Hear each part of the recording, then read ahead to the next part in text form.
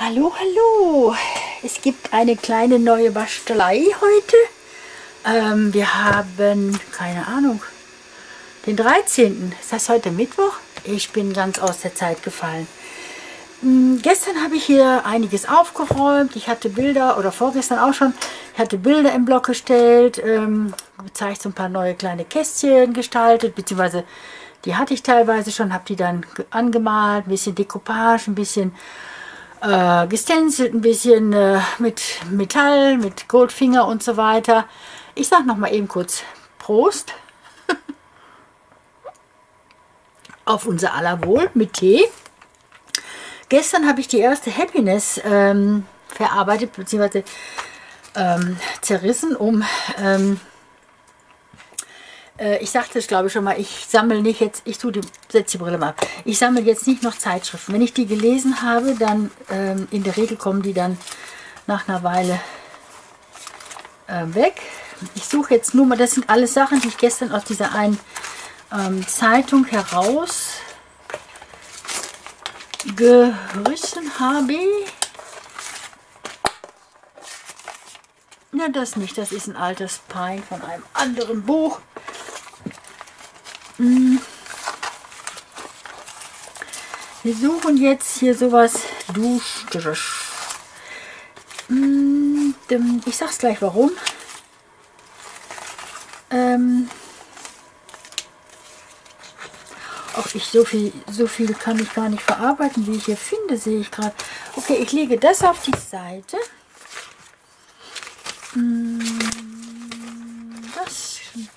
blätter ich mal ganz schnell durch, ob ich da irgendwas von verwenden kann. Nein. Oh nee, die möchte ich mir, oder vielleicht mal gleich. Ja, das möchte ich gerne nehmen. Das, die möchte ich gerne aufheben. Und ach, das, ich halte das mal rein. Wenn sich jemand dafür interessiert, dann kann er sich ja gerade mal durchlesen, mal auf Stopp machen und durchlesen. Hat mir ganz gut gefallen. Habe ich auch aus der Happiness. Hebe ich mir gerade mal auf. Hm, ich hatte... Ach so, ja. Ich gucke gerade noch mal eben diese Bilder durch, die ich mir... Ähm, ah, das ist natürlich auch sehr schön hier alles. Ist alles sehr schön. Einmal gucken, was ist hier auf der Rückseite? Das wäre noch eine Möglichkeit. Okay, wir wollen mal schauen. Das lege ich, man muss sich anders machen. Muss ich so und so. Und das rutsche ich etwas rüber, dass wir hier Platz kriegen. Das sind alles so blau-grüne Geschichten. Und zwar ist mein, äh, mein Ausgangspunkt heute Abendstille.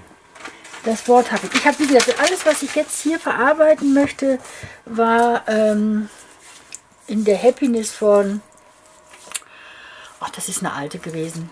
Das ist, äh, ich glaube, von 17 eine gewesen. Die neueren habe ich noch nicht an, angefangen. Ich habe noch drei, vier neuere, fünf neuere. Und zwar dieses Wort, das möchte ich verarbeiten, Abendstille. Und dann natürlich mit diesem.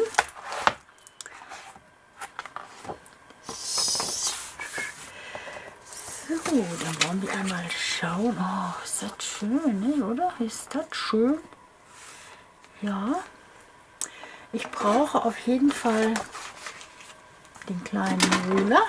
Ich habe alles ein bisschen neu geordnet. Das muss man jetzt natürlich alles erst wieder verinnerlichen. Wo sind alle Sachen?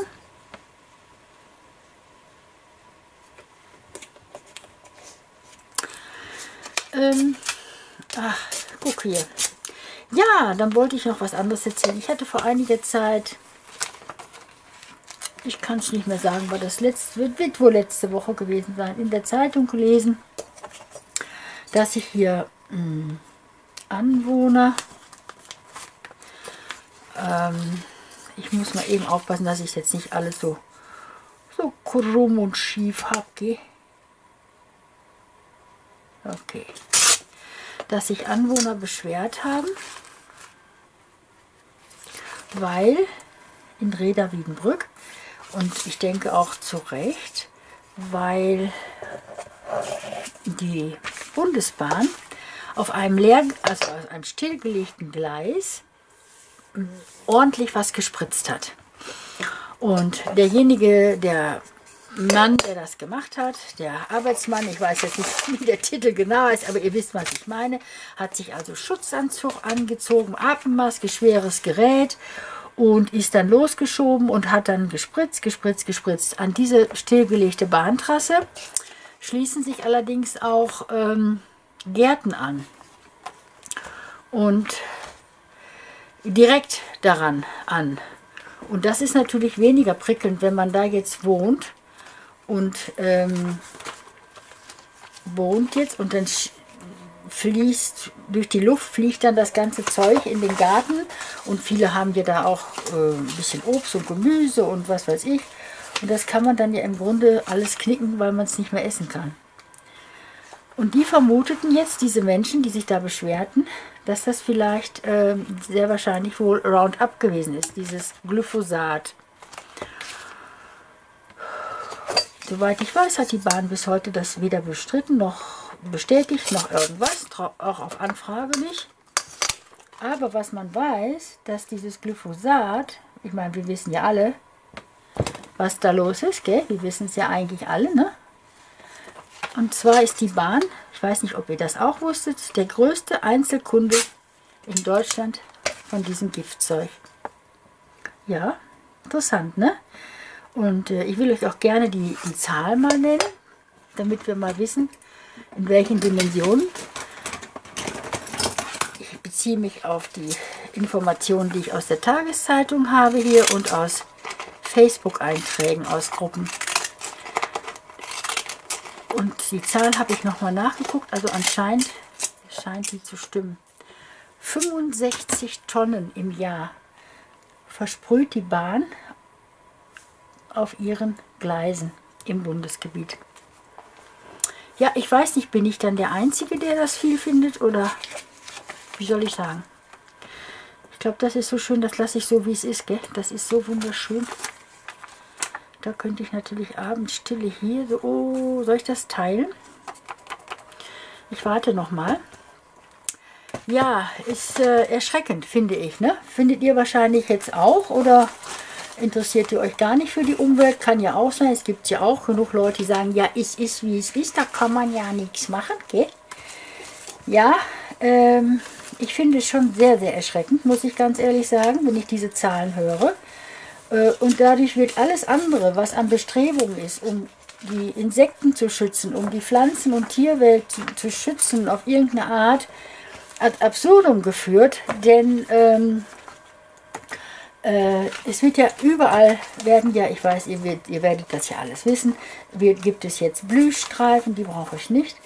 Und man versucht alles Mögliche. Und gerade hier im Raum von ähm, Kreis Gütersloh gibt es sehr, sehr große Flächen, äh, die für Insekten ausschließlich genutzt wurden und werden in diesem Jahr, wo sich per, ich, soweit ich es sogar weiß, per Crowdfunding Leute gefunden haben, die die Flächen äh, ja, finanzieren.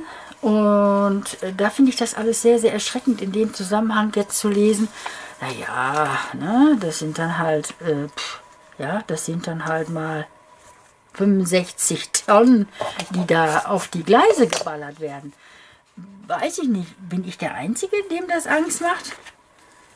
Und ich meine, in dem Zusammenhang wundert mich auch noch eins, hm, dass ich irgendwann vor nicht langer Zeit lesen musste, dass jetzt die Bundesregierung Studien in Auftrag geben will oder vielleicht Plan zu geben. Ich will mich ja nicht festlegen, weil das ist das Ganze ist so lächerlich, dass ich, um mal zu erfahren, muss mal eben mal einen richtigen einmal Krach machen. Sorry. Muss man richtigen Ruler suchen. Ruler, Ruler, Ruler, wo bist du, du kleiner Ruler? Komm du zu mir. Welchen hatte ich denn immer? Den, ne? Hatte ich den?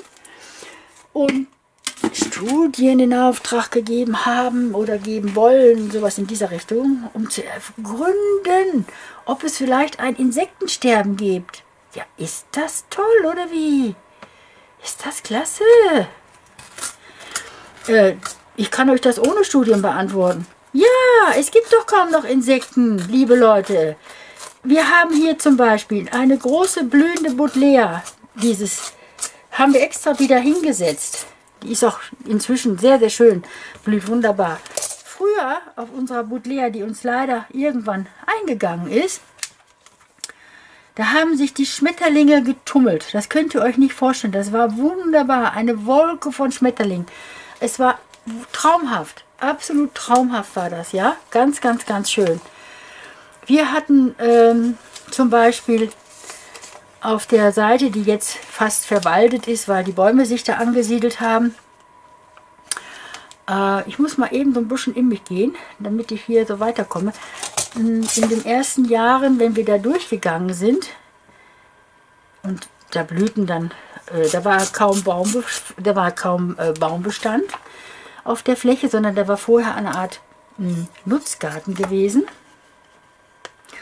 Und war das also mit, mit, mit Blumen und allem Möglichen und auch alles Mögliche, was Insekten und Tiere gebrauchen können.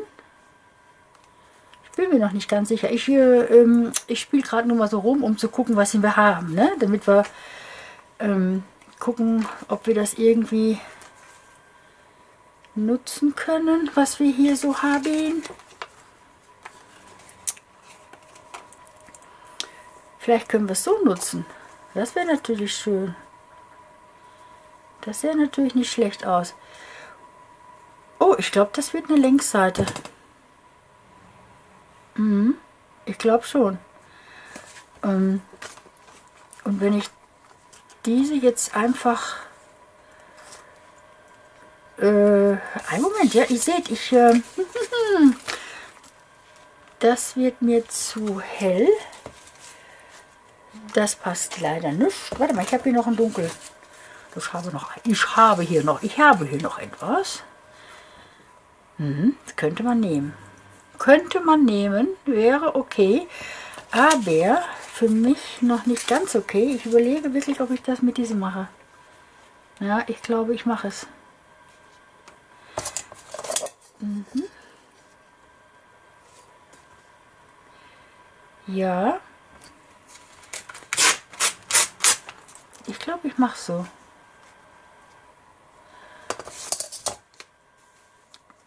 Und ich glaube, ich mache es dann einfach.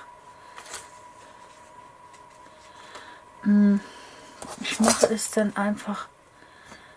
Warte mal, ich gucke mal, wie das aussieht. Moment, Moment, Moment. Ja, und dann brauchen wir gleich nur kleben. Ja, jetzt, jetzt haben wir es wieder. Ich habe es wieder geschafft. Ich bin ähm, brauche ich das noch? Ich brauche es nicht mehr. Ne? Ich brauche es nicht mehr. Ich glaube, die kann ich auch schon auf die Seite legen. Und die anderen Sachen brauche ich auch schon nicht mehr. Guck, da haben wir schon mal diese ganzen Sachen in der Vorauswahl gehabt. Die können wir schon auf die Seite legen. Wunderbar.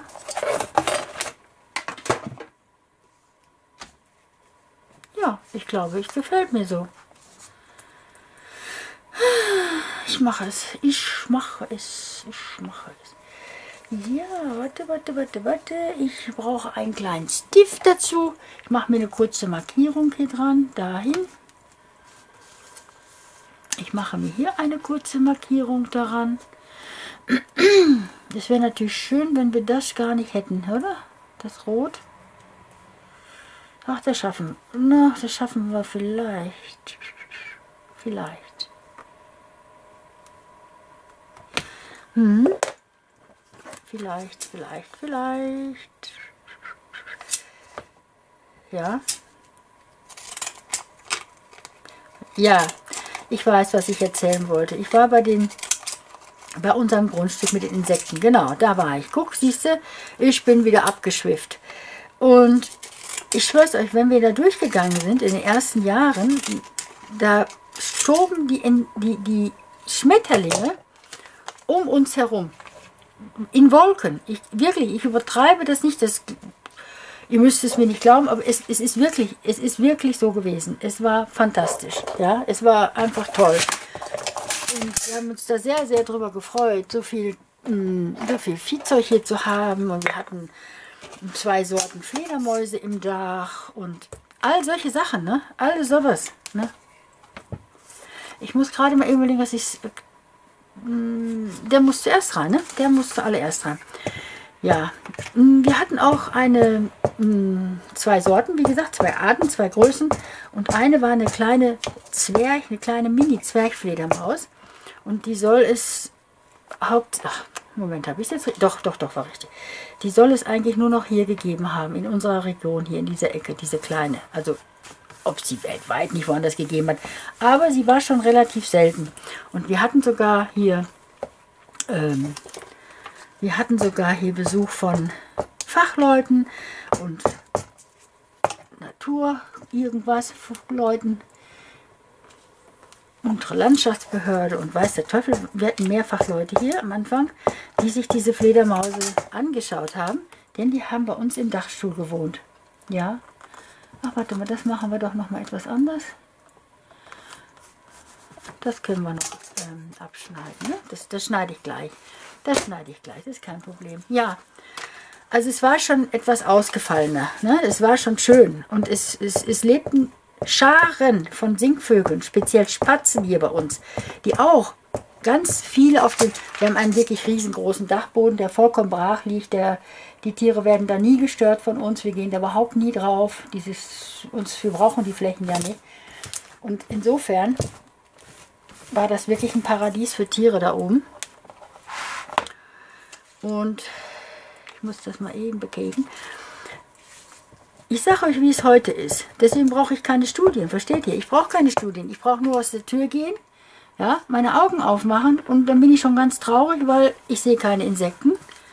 Die Buddleia steht seit Wochen in vollster Blüte. Wenn da mal ein einziger äh, äh, Vogel drauf ist, dann muss ich schon sagen, habe ich das jetzt falsch gemacht? Wie, ah, ich bin wieder vom Wahnsinn umjubelt. Irgendwas habe ich falsch gemacht. Aber was? Falsch gemessen? Ach, Petra. Na, es ist egal. Ist egal. Jetzt lass es. Jetzt lasse ich es, wie es ist. Das schneide ich dann gleich bei. Ich würde es gerne so machen. Mal eben schauen, wie ich das hinkriege. Hier so. Es wäre schön, wenn wir hier so eine Ribbekante hätten. Ne? Ist schwierig zu reißen. Ne? Schwierig. Die grobe Ribbekante kriege ich nicht hin, oder? Das wäre natürlich am allerschönsten. Ich versuche es mal. Ja. Äh, zu den Fledermäusen möchte ich sagen, die hier in wirklichen Scharen ihr, ihr Quartier hatten. Ja. Mm, das äh, erzähle ich nicht nur, man kann das sogar noch sehen, weil wir den Dachboden noch nie sauber gemacht haben in den letzten über 20 Jahren. Die Hinterlassenschaften wachsen in Türmen hoch. Also es ist beweisbar, die waren da die sind auch nicht mehr da. Das sind nur noch ganz wenige. Wenn wir jetzt abends im, so im Dämmern vor die Tür gehen, äh, da können wir Glück sein, wenn man mal ein, so ein Fledermäuschen ums Haus fliegen sieht oder mal zwei. Früher sauschten die hier übers Gelände, um die Ecken. Wir konnten nicht so schnell gucken, wie überall Fledermäuse rumflitzen. Es war, es war wirklich, es war wunderbar. Und jetzt heute sind wir froh, wenn wir mal eine sehen. Es ist eine Katastrophe, was hier stattfindet. Da brauche ich nichts mehr da brauche ich ja gar nicht mehr irgendwas testen und herausfinden und erforschen. Ich brauche nur meine verdammten Augen aufmachen und sehen und nicht jedes Jahr neues Scheißzeug. Äh, ja, tut mir leid, anders kann man es ja nicht nennen. Äh, immer wieder neue Genehmigungen. In anderen Ländern sind die Sachen verboten und, und, und werden ge geächtet und gemieden. Nur wir Deutschen, wir lassen jedes Jahr wieder neuen Mist zu. Das ist doch unbegreiflich sowas. Wir haben das Elend doch hier. Ne, es reicht nicht aus, dass alles verseucht wird durch die Jülle, die wir überall in den Feldern haben. Ja, ist doch wahr, das ganze Grundwasser und, und, und. Ja, wir haben einen Eigenbrunnen. Das Theater kann ich euch wohl gerne erzählen. Wenn der Oberflächenwasser reinkommt, was schon mal der Fall ist, wenn irgendwas mal kaputt geht oder so, das ist nicht die Regel, aber ja, dann ist aber Holland die Not, kann ich euch sagen. Das könnt ihr nicht mehr trinken. Da sterbt ihr dran. So verseucht ist das Oberflächenwasser. Ja, und dann kommen die Ämter und bedrohen einen, man macht dies und macht das. Natürlich macht man das, man will sich ja nicht umbringen. Aber es ist doch alles, es ist doch alles nicht mehr feierlich, was hier stattfindet. Ich muss es euch ehrlich sagen, es ist einfach, ja, ihr merkt schon, ne? Mhm. Bin so ein kleines bisschen ungnädig. Ah, Das sind so Themen, da kann ich mich in Rage reden, ich schwör's. Da kann ich, da kann ich ausrasten. Und dann diese allgemeine Gleichgültigkeit von vielen Leuten. Das ist einfach so traurig zu erleben, dass sie das überhaupt nicht interessiert, was hier los ist, ne? Und die Regierung interessiert es offensichtlich auch nicht, denn wir erforschen jetzt mal vielleicht, was mit diesen hm, Insekten vielleicht sein könnte. Ja, sag mal, tick ich noch frisch? Was soll der Quatsch? Es sind kaum noch welche da. Also, ganz ehrlich. Und da wundert sich jemand, dass ich überhaupt an nichts Spaß habe, was hier unser Leben angeht. Hm. Ich will euch was sagen. Es gefällt mir schon. Es gefällt mir. Und ich denke, ich werde es so machen. Ich denke, ich werde es so machen. Ja, aber es ist wirklich, wenn ihr das hier, wir, wir haben das hautnah erlebt. In 20, wir wohnen jetzt gerade über 20 Jahre hier und ich kann es euch wirklich versichern, das ist dramatisch, was hier an Insekten mh, hm, nicht mehr da ist. Es ist wirklich dramatisch. Es ist absolut traurig und furchtbar, dass wie gesagt, Insekten nicht mehr da, dann das zieht dann weitere Kreise. Die Vögel kriegen ihre Brut nicht mehr satt. Wir füttern draußen im Sommer jetzt auch das erste Jahr sogar die Vögel draußen. Ich muss mal eben ein Washi dazu holen. Das könnt ihr euch nicht vorstellen. Wir füttern mehr als im Winter. Die verhungern da teilweise anscheinend. Die, die, die fressen und fressen und fressen. Äh, ich sag's ganz offen, echt, also langfristig auf die Dauer ähm, kann man das gar nicht aushalten finanziell. Das, ist, das, ist, das geht richtig ins Geld. Ne, das, ist, das sind nicht ein paar Mark 50 oder so. Das, wir holen hier säckeweise Futter mittlerweile. Ja. Nicht, dass wir das den Tieren nicht gönnen. Wir füttern ja auch im Winter seit immer. Aber dass wir jetzt im Sommer jetzt sogar schon füttern, also das finde ich dann doch schon arg bedenklich. Und wenn wir dann sehen, welche, welche Mengen an Futter hier verbraucht werden und hier abgeholt werden, jeden Tag, Gut, wir haben noch Meisen hier, aber wir haben wenig Buchfinken, wir haben wenig Spatzen.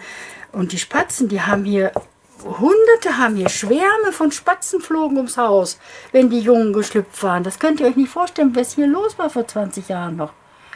Und dagegen ist das jetzt wirklich eine, eine Wüste Einöde geworden, fast schon. Ich weiß nicht, ich habe es ja auch schon ein paar Mal gesagt, wir haben eigentlich sagen wir mal, etwas ein bisschen größeren Garten gegenüber normale, sagen wir mal Stadtbevölkerung oder so. Unser Grundstück ist 10.000 Quadratmeter groß. Das verwildert, da wächst ganz viel ähm, ja, Brennnesseln und so ein Zeug. Wir, haben, wir bearbeiten das nicht. Das ist einfach der Natur überlassen und fertig. Da haben sich unendlich viele Bäume angesiedelt. Ähm, das eine Grundstück, wo ich sagte, wo früher die Schmetterlinge noch hochflogen, ganz am Anfang, das hat sich mit Bäumen zugesetzt. Die, die sind da einfach so hingekommen. Wir haben das, äh, wir finden das auch okay. Wir finden das, wir finden das gut. Soll ruhig so werden und sein. Das, aus diesem Nutzgarten wurde dann also ein Art Waldgarten, Waldgrundstück würde ich fast sagen. Hat den Vorteil, dass das Haus bei uns sehr beschattet wird, weil das stand so kahl auf der Fläche.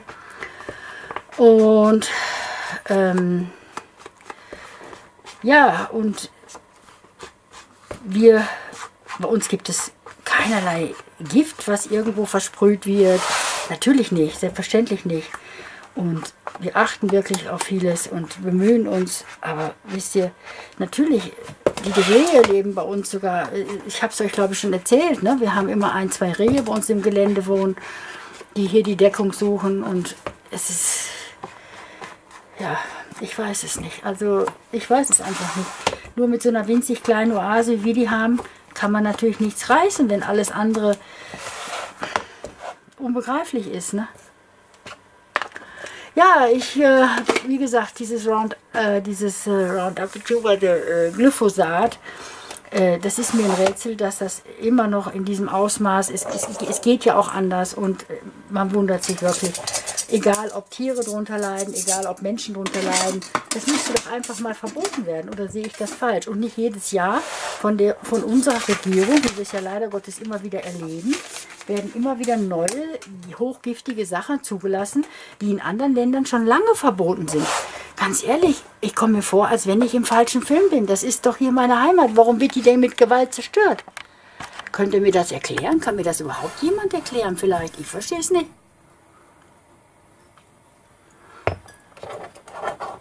Ja. Ja, das war heute mal... Passte nicht. Ich drehe es mal um. Passte leider. Warte, ich mache es etwas höher, dann kann ich äh, vielleicht etwas kippen, damit ihr das mit ohne, mit ohne Blendung sehen könnt. Ich weiß nicht, ob ich es schaffe. Abendstille. Die Seite gefällt mir eigentlich ganz gut. Das ist die erste Seite, die ich mit der Happiness gestaltet habe. Muss ich nur mal eben noch draufschreiben.